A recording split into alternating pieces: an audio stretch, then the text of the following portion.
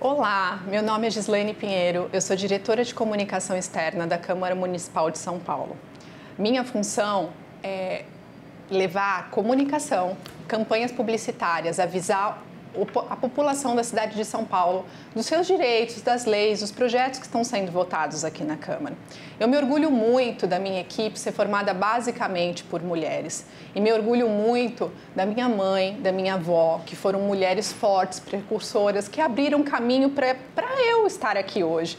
E assim eu acho, com todas as mulheres que estão aqui hoje, tenho esse orgulho.